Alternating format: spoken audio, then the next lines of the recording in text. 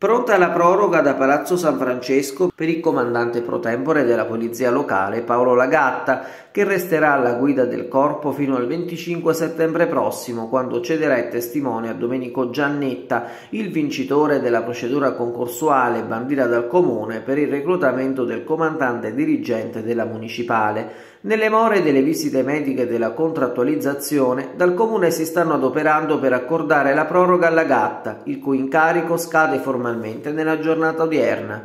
A fine settembre, quindi in via Mazzara, torna il comandante dirigente. Le procedure concorsuali erano partite lo scorso 22 maggio con il boom di rinunce per la prova scritta. Al temuto appuntamento si erano presentati 21 candidati su un totale di 59 che avevano depositato la domanda entro il termine di scadenza del bando, una diserzione probabilmente legata al rischio ANAC che in un momento si era pure paventato per l'autonomia del segretario quale presidente della commissione giudicatrice, rischio che è stato poi superato, che comunque non ha avuto alcun seguito.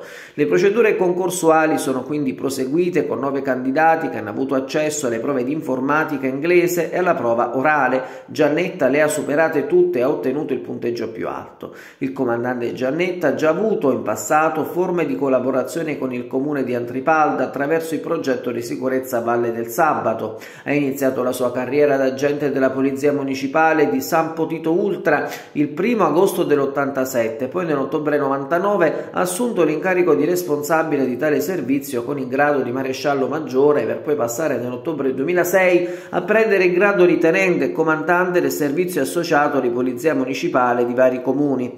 L'impegno, la dedizione al lavoro, ma soprattutto la passione, lo hanno portato ad essere un esperto di progettazioni in materia di sicurezza urbana, con vari progetti finanziati dalla Regione Campania e dal Ministero dell'Interno. Ora è pronto a trasferirsi a Sulmona.